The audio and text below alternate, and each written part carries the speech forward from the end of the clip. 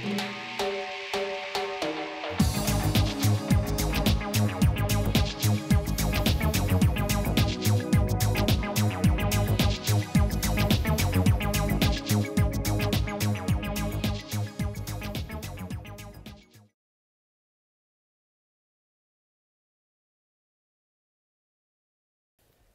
take this one. Hello, everyone. Can you hear me? Is the mic on? Is Mike here? Right, we've got two mics, in fact. Uh, my name is Mike Butcher from, uh, that's me up there, TechCrunch, and Mike Curtis from Airbnb. Thank you very much for joining us, everyone. I hope you're having a good uh, conference. Um, we are going to talk about Airbnb and also the uh, share economy. What I think's fascinating, really, is I, I love the story actually, the, the initial story of Airbnb. Yeah.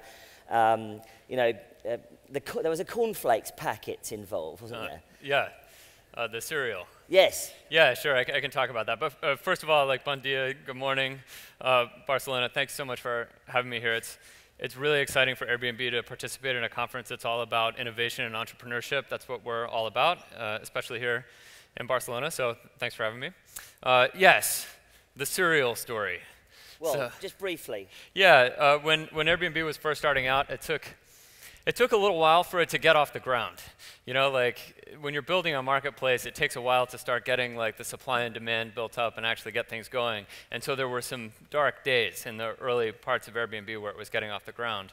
And at one point, the founders realized that you know, they had accumulated some debt, they didn't have enough money, and so they came up with this idea, it was around the presidential election time, uh, to package cereal boxes that were, you know, kind of funny and branded with, you know, McCain flakes and Obama O's, and then sell them as a novelty. And they did that and raised um, many thousands of dollars that enabled them to keep Airbnb going. And so that, actually that whole story ties back to this concept, one of our values of serial entrepreneurship. Like when you're faced, that's what we call it, that's our value, serial entrepreneurship. When you're faced with real adversity, you have to get creative. You have to think of something that can really push you through. Do you think that, the, that people have forgotten those days when you could, um, when raising money was about going out and raising some actual cash rather than getting investment? Um, well, I, I, think that you know capital can be a little bit more easy to come by uh, these days, uh, maybe than it was then. But I think particularly for uh, Airbnb, the idea sounded so crazy, like this idea of staying, you know, in other people's homes, that it might have been even harder for them to raise capital early, so they had to go out and actually find yeah. the money to keep it going. Do you think that, I think what's, what's been exciting to watch over the last few years is, is a rise, of course, as, as what we, know, we call the share economy. Mm. Now, Airbnb, you must think, think about this a lot, about whether or not there's a limit to where you can go with this. Uh, you know, you, you, because you're now moving into other areas such as the corporate uh, accommodation market, aren't yeah, you? Yeah, business travel. Yes. Now, uh, perhaps you'd like to unpack that a little bit for us. But uh, just generally, what do you, th- do you think there is a limit, or uh, will it, we eventually just rent everything out that we own virtually? well, I think that, at, at least in my view, the, the sharing economy and the idea of sharing is still very early right? This is a relatively new concept. And so I think that we're at the very beginning of what could potentially be possible with it. I think we're just starting to figure out what uh, verticals you can apply sharing to where you know it can be valuable. Um, I think that, yeah, the, the potential for where it could go, I think it's sort of, think about the, the situation in the world today. There's all these people out there who are qualified and capable and can do things who can't find enough work right, and need a little help making ends meet. And I think that you know the sharing economy is an opportunity to help tap into that to people who you know have good skills but can't find the work they need to, and enable them to become micro entrepreneurs. Right? Like when you think about Airbnb hosts, it's a whole community of micro entrepreneurs, and what they're doing is you know taking advantage of the assets that they have to earn some extra income if you think about just how powerful that is and how much incentive there is behind that, I think that you can take that kind of model and apply it to lots of different potential verticals. But uh, let me, let me just add one other point. Sharing economy is fairly new, right? And it's a new idea. And as soon as a new idea comes out, what you start seeing is you try to solve every problem with that new idea. So over the next few years, I think we're going to see tons and tons of different sharing economy companies pop up. Uh, there's some really interesting ones out there right now that are all working in these different verticals. I think some of them are going to stick and be great, and some of them probably won't. So we'll see how it plays out. Um, there's been lots of controversy around companies like Uber and, and their battle with regulators. And Airbnb has also been through its fair share of trials on that regard. Uh, I remember at one point they were going to ban you from Berlin. Right. Um, and I'm not, where, are we on that, by the way?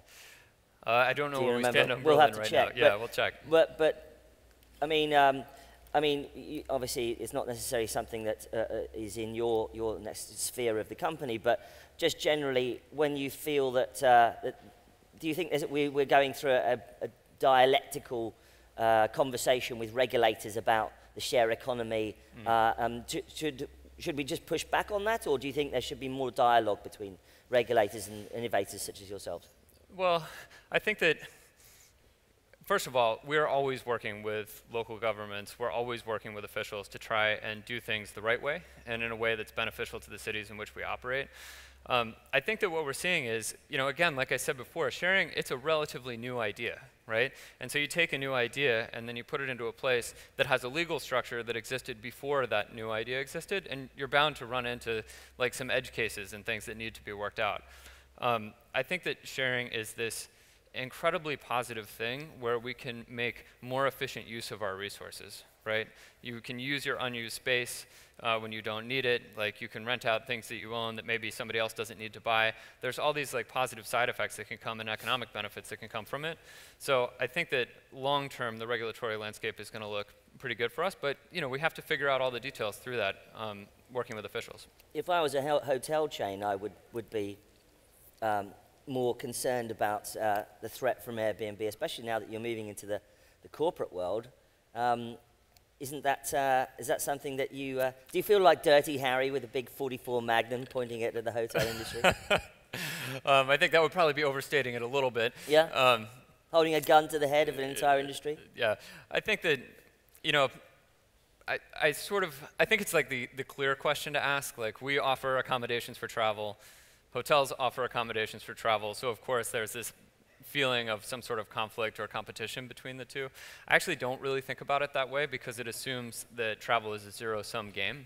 And I actually don't think that it is. I think that Airbnb is expanding the travel category. I think we're getting more people to travel in different ways. Our business is growing very fast. Hotels business are gro- is growing every single year. So I think that, you know, whether there are some competitive aspects to it, I guess, I don't really view it as like a direct competition with Well, hotels. certainly, sp- speaking of somebody who's using an Airbnb in Barcelona because they couldn't get a hotel room, Ugh. it's fantastic. That's great. Um, but uh, I mean, I mean, also just quickly, just briefly. I mean, there was uh, in the early days of Airbnb, there were a few uh, uh, scandals, people having their entire apartments taken away and things like that. The safety issue uh, Yeah. and tracking users, uh, which is obviously something that you're very intimately involved with, to try and make sure that we don't get any uh, criminals involved into the network. Um, what are the, some of the kind of technical ways that you can prevent that from happening? Yeah, of course. So, I mean, I guess depending on how you look at it, you could say that trust and identity is one of the core inventions or innovations that Airbnb came up with originally, right? Um, you know, you're going to meet somebody out there uh, to stay either with them or in, in where they live. There has to be a huge amount of trust involved in that. And so it's been a major area of investment for us uh, pretty much since the beginning. Some of the things that we do um, are things that you can actually see on the site, right? We, you know, you upload profile photos. We connect people with social networks, so we have some social proof that they're real. Um, we have this thing uh, where we can verify people's identity. You can actually scan your driver's license and your passport, and then you'll get a badge on the site that you actually have a verified ID. So those are things that we can do sort of right at the outset to assure identity of somebody. Then beyond that, we have the review system, which is like a reputation system, right? So as you travel more or as you host more on Airbnb, you get more positive reviews. It's more proof that you're somebody who's a very good actor in our system. So those are the those are like the things that you see, right? There's also plenty of stuff that happens behind the scenes as well to make sure that we're managing the community the, way- the way we want to. Um, an example is we actually, every single booking, we apply a, a machine learned model to it that is basically a prediction of do we think that there's anything fishy about this booking or does this look like completely legit? There's tons and tons of signals that we looked, look through uh, for that to get that sort of probability score. And if it scores over a certain threshold, then we'll review it, right? We'll actually go take a look and make sure this is something that we want. Another thing is that we in a completely anonymous way, but we have algorithms that look at messaging patterns on the site. So if we see that you know like one account or one block of accounts has sent thousands of messages out, then that raises a flag that this could be like a phishing attempt or something like that. Part of what we're doing in general in all technology at Airbnb is really about creating matches between people, right? You're matching a guest and a host together for an offline experience. A big part of that is making sure that the wrong matches can't happen, so that's why we invest so much in trust and identity. How important is Europe to Airbnb? Europe is huge. It's huge. Um, we, uh, let's see, I guess more than 50% of all bookings on Airbnb come from Europe. So it's our biggest market by far. It's growing Outside very fast. Outside of the US? Oh, it's bigger than the US. Yeah, Europe is a bigger, a bigger market than the US um, on the whole. So extremely, extremely important for us. Um, it's also something where we see uh, you know, a huge amount of travel between the US and Europe, which I think is why um, Europe took off so quickly. The, the network effects of the business are so powerful. Like somebody goes, let's say from Paris, stays in New York, stays with a host, has a great time on Airbnb, there's a high likelihood that they're going to go back to Paris and they'll either tell their friends or maybe they'll become a host themselves. So there's lots of opportunity for network effects um, to fuel the business. That's actually a lot of ways how we got started in Europe. Did you, did you find that the, the, the rise of the clones, such as Wimdu, etc., uh, have yeah. a, a, positive or a negative effect? Mm. Wimdu was a pretty amazing story. This, this before my time at Airbnb, but I hear the stories about it. You imagine you know, your company's doing really well, things seem like they're great, and then suddenly out of nowhere, this, this company pops up and says, we've raised $100 million to compete directly with you, and like, we're gonna go, uh, you know, crush your business. Uh, it was a very intense time from what I've heard. I think in the end it was good for us because it sort of lit a fire under we have to get in front of this problem. We've got you know a, a, strong competitor like somebody who's done this successfully before, and that was when we started opening our offices around the world, uh, particularly in Europe, where we got much more involved on the ground. And I think that that, that helped ultimately propel us forward. So I think a little a little competition can be a really good thing. You're also um, expanding in in Dublin, I gather. Yeah, we have, uh, you know, our European headquarters is in, is in Dublin. And uh, I think that we're hiring, I think we just announced that we're going to hire about 200 more people there. Um, so there's a lot of, uh, it's, a, it's a multifunctional office. There's also a lot of customer care in that office. Customer care obviously is a big part of what we do. People are traveling in the world, they need somebody to contact, and Dublin's a center for that. But I'm presuming that engineering is staying in the States? At least for now, yeah. Our engineering team is in uh, San Francisco right now. I think that we'll see over the next couple of years, we'll probably start distributing that more globally. But while the team is still relatively small, it's kind of nice to have it in one location. Um, what about um, Asia? Because I know that, I happen to know that you've just come back from Asia uh, to, directly to here. Last um, night. Is that, uh, I mean, how much, how, how big is in Asia an opportunity for you right now? Um, it must be pretty big because I think a couple of years ago you you said uh, Airbnb made an, a, a, little statement saying that it was going to be possibly the biggest market it, it, had. Yeah, well, I mean, if you look, Asia is a huge potential market for us, um, and we're, we're investing a lot in figuring out what works there and, and what doesn't right now. You mentioned I just came back from Singapore uh, last night. Actually, I was over there for a week, um, learning more about the market.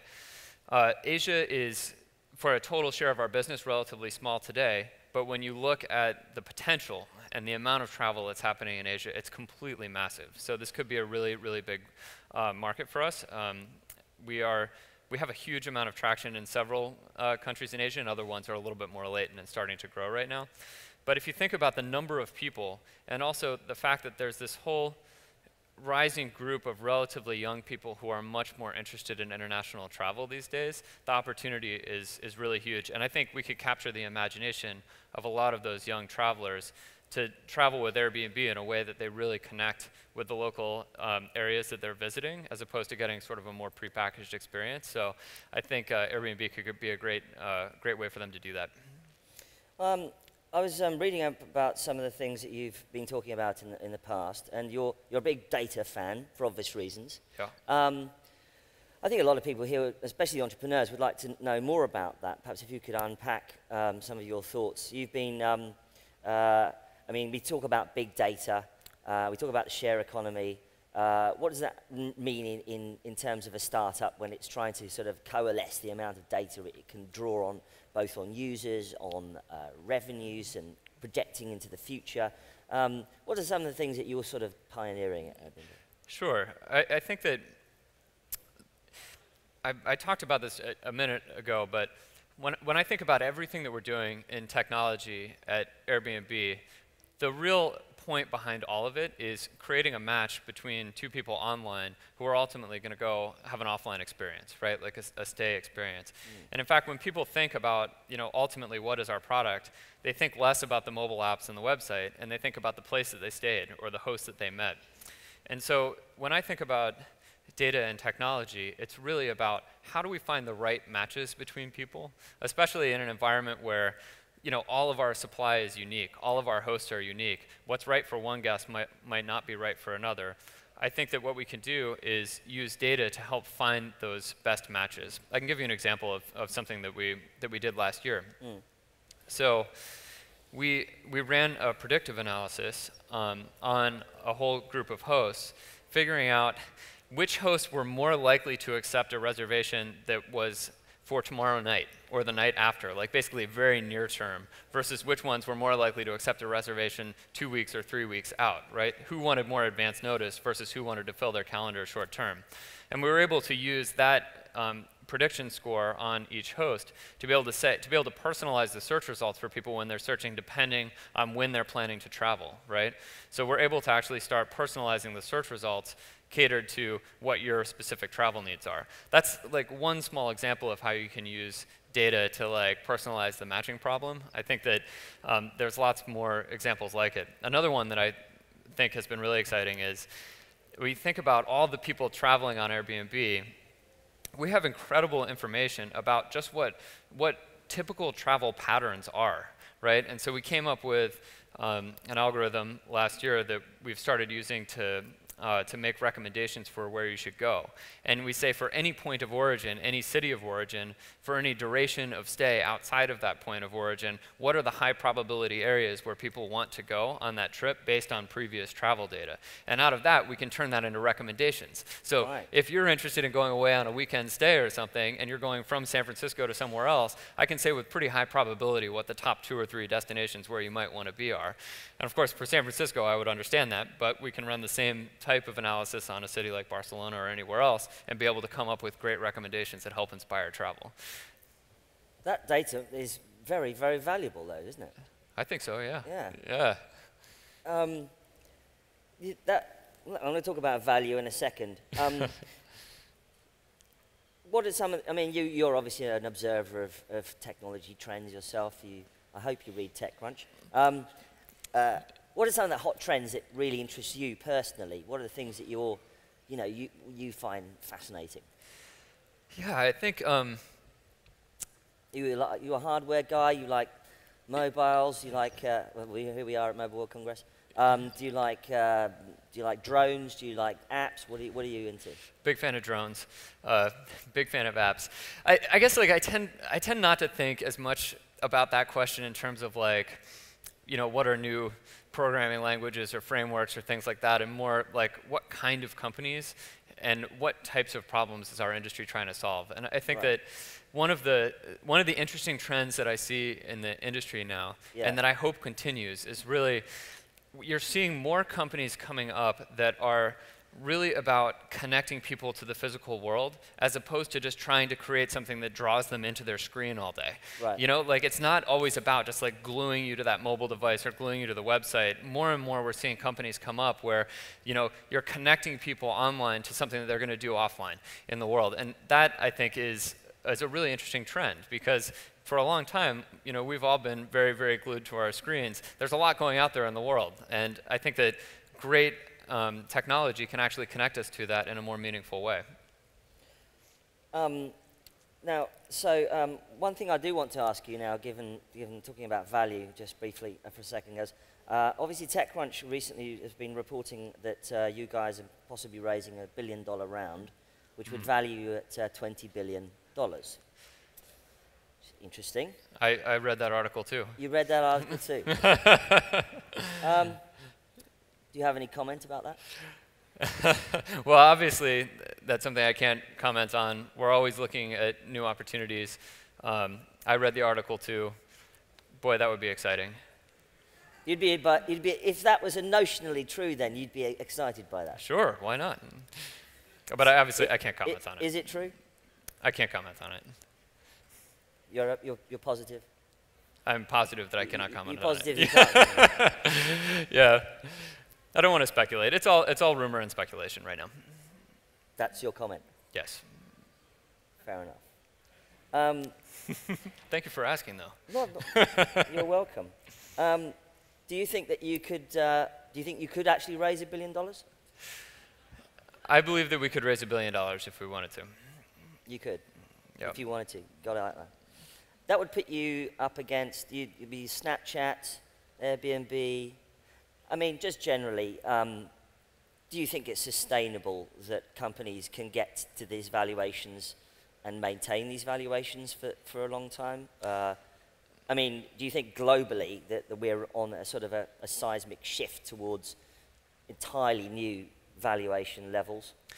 I mean, I think that there's um, we're seeing companies, you know, seeing a lot of benefit to staying private for longer, which I think gives more opportunity for valuations to rise uh, over time. I think the other thing that we're seeing is that where in a lot of previous times when you've seen really inflated valuations, there was not a lot of revenue behind those valuations. Dot com bubble, let's say. Yeah, that that seems to be changing now. I mean, I think that the revenue model behind some of the companies that are commanding really high valuation, really high valuations right now are much more sustainable. Like, there's a much clearer business model behind it. Um, you know, the valuations are still very high. You have to believe that the company is going to be able to grow to actually uh, match that valuation over time. But I think that the business fundamentals are much stronger than what we've seen in uh, in previous rounds of very of companies with very high valuations. and and so therefore uh, it, it's we're in a different time now. You you know obviously you guys are booking incredible revenues and and you're raising money on the back of of those revenues. Well, that, that's the idea, yeah. I, mean, I think that it's dangerous to raise a bunch of money when you don't have a sense of how you're actually going to build the revenue behind it. So, um, so we're trying to do it based on a, strong, on a strong business. Where's the where's does the future lie then for Airbnb? Um, uh, is it uh, in, in in other kinds of businesses extending the business model into new and bigger features? Uh, what, what what sort of kinds of things are you thinking about? Well, I think that long term, let, let me, let me talk about it this way. I think that we have all taken trips out there where you've, you know, you've visited a new city and you've stayed in a hotel and you ate at the hotel bar and you went and ca- saw a couple sites and then you came back and stayed at the hotel bar and then you went home and then you thought you saw the place. But the fact is, you didn't really see the place. You didn't really connect with that environment. And I think what Airbnb aspires to do is to say that when you leave for a trip on Airbnb, the journey doesn't end when you get home. It changes you somehow. Like it actually connects you to a local environment and to a local place and somehow transforms you. In order to do that, I think that we are going to have to get beyond just core accommodations. We're going to have to start thinking about the things that you do on your trip, who you're going to connect with, and how you're really going to experience a local environment. And so I think over the next few years, you're going to start seeing Airbnb getting into that area more, where when you book a place on Airbnb, you're not just booking the place you're going to sleep, but you're booking a trip. It sounds to me like you're going to get into the tour operator business. Well, we're not, we're not planning any tour buses yet. Right. um, I think it's more about um, who you're going to meet, what neighborhoods you're going to stay in, where you're going to go when you're there, like what kind of experience you're going to have that actually connects you to the destination that you're in and gets you feeling like you belong there. Like the mission of Airbnb, you've probably heard, is to enable a world where you can belong anywhere, which is a pretty lofty vision, right? Seven billion people belonging anywhere. Um, for everybody, belonging means different things. And when you travel to a new city on Airbnb, we want, it, you, we want you not to feel like an outsider. We want you to feel like it's somewhere where you can be uh, comfortable and at home and where you can really connect to the local culture. And I think there's a ton of things that we can do to make that possible over the next few years. Could you acquire Yelp, for instance? I'd have to think about how much Yelp would cost before I could answer that. um, acquisitions could be part of it, definitely. I think that there's a lot of um, there's a lot of companies that uh, could be interesting for us to either integrate with in a partnership or, or possibly acquire over the years. I don't have any of those like on the immediate radar though.